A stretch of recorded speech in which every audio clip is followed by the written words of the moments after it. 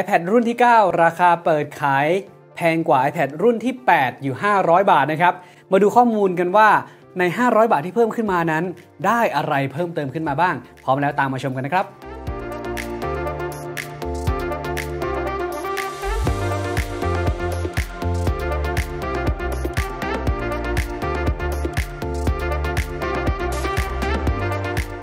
สวัสดีครับ ผมต้อมไอมดนะครับผม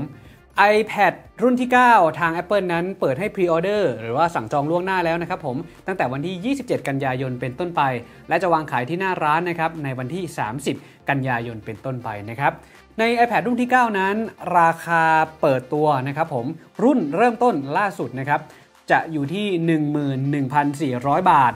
ซึ่งราคาเริ่มต้นจะแพงกว่า iPad รุ่นที่ 8 ของปี 2020 ที่ผ่านมานะครับ ซึ่งใน iPad รุ่นที่ 8 นะครับผมราคาเปิดตัวจะอยู่ที่ 10,900 บาทนะครับ แต่ว่าในรุ่นที่ 9 นั้นอยู่ที่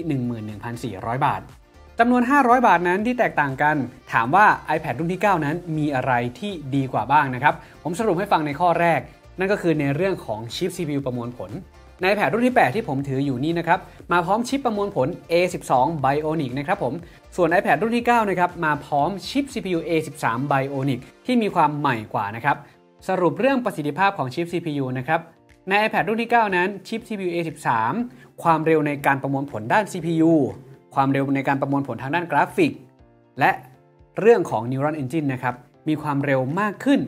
20%ดังนั้นสรุปภาพรวมคือ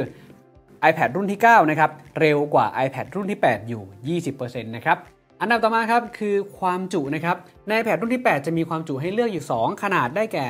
32 g b และ 128 g b นะครับ แต่ว่าในฝั่งของ iPad รุ่นที่ 9 ครับ ความจุจะเพิ่มขึ้นมา 2 เท่า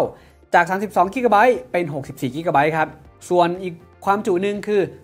256 g b นะครับ ดังนั้นสรุปก็คือแม้ว่าราคาเริ่มต้นจะแพงกว่านะครับ แต่ว่าได้ความจุขึ้นมาถึง 64 g b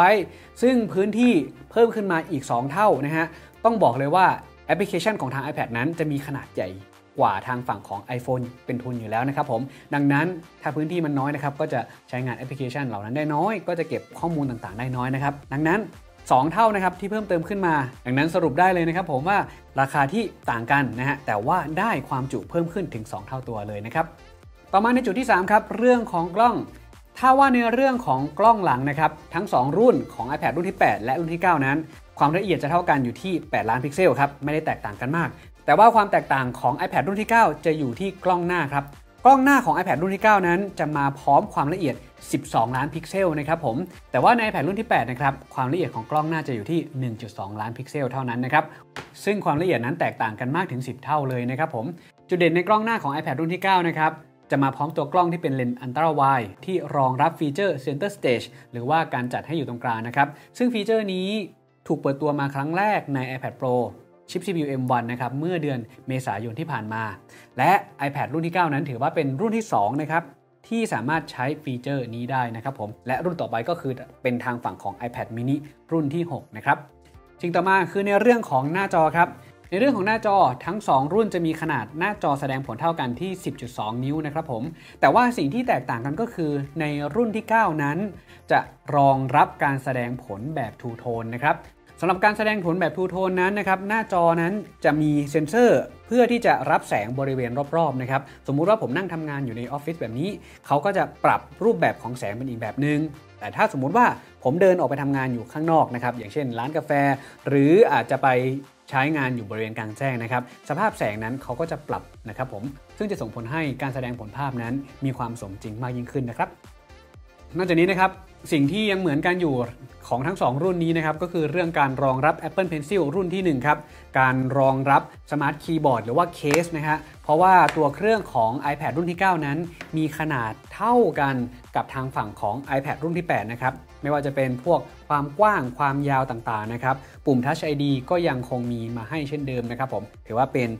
iPad รุ่นล่างสุด และเป็น iPad ตัวเดียวนะครับที่มีปุ่ม Home อยู่ณปัจจุบันนี้นะครับพอร์ตก็ยังคงใช้เป็นพอร์ต Lightning เช่นเดิมนะครับผมในเรื่องของสัญญาณ Wi-Fi ครับไม่ได้แตกต่างกันครับใช้ Wi-Fi 5 นะครับส่วนสัญญาณบลูทูธนั้นก็ยังคงใช้สัญญาณบลูทูธ 4.2 นะครับผมสำหรับราคานะครับผมใน iPad รุ่นที่ 9 นั้นนะฮะจะมีให้เลือกอยู่ 2 ความจุ 64 g b และ 256 g b นะครับ 64 g b จะอยู่ที่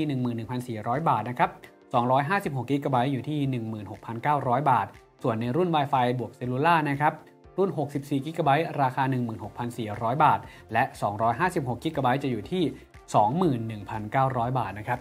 ส่วนในคลิปต่อไปนะครับ เดี๋ยวผมจะนำเสนอข้อมูลในเรื่องของการเลือกซื้อ iPad ของปี 2021 นะครับ ที่มีวางจำหน่ายอยู่ณตอนนี้ ได้แก่ทางฝั่งของ iPad รุ่นที่ 9 iPad mini 6 iPad Air รุ่นที่ 4 และ iPad Pro M1 นะครับ ในทั้ง 4 รุ่นนี้เราจะเลือกรุ่นไหนให้เหมาะสมกับการใช้งานของเรา ยังไงก็กดติดตามที่ช่อง iMode Official ของพวกเราเอาไว้นะครับ จะได้ไม่พลาดคลิปที่ผมจะนำเสนอในครั้งต่อๆไปนะครับ ผมต้องไอโมดขอตัวลาไปก่อนครับ ไว้เดี๋ยวพบกันในรอบหน้า สวัสดีครับ